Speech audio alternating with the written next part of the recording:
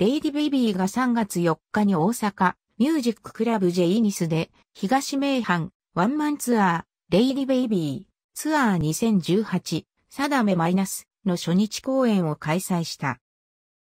2月25日に、池田奈々、有馬えみり、唐沢風花が新メンバーとして加入し、4人体制となることを発表した LADYBABY。新メンバーのお披露目公演となったこの日は1曲目。ペロから有馬がシャウトするなどエネルギッシュなパフォーマンスを展開し、オーディエンスを熱狂させた。MC ではメンバーそれぞれが不安を明かす一幕もあったが、4人はダブルアンコールを含む公演で計13曲を披露。